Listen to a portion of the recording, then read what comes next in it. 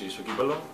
Το, το τελευταίο καιρό και με την έλευση του νεοπροπονητή και με την διοίκηση η οποία έμπρακτα νομίζω ότι είναι κοντά μας το, τελευταίο διάστημα.